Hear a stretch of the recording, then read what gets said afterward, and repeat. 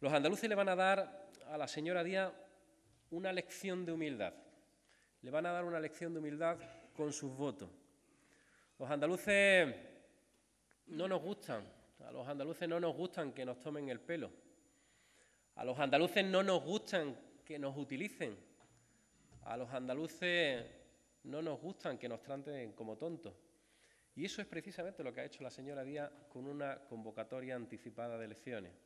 Ha utilizado a Andalucía y a los andaluces, ha maltratado al conjunto de nuestros ciudadanos y lo hace además con un objetivo que no es mejorar la calidad de vida de los andaluces, sino lo hace única y exclusivamente por motivos personales, por ambiciones personales y por intereses electorales.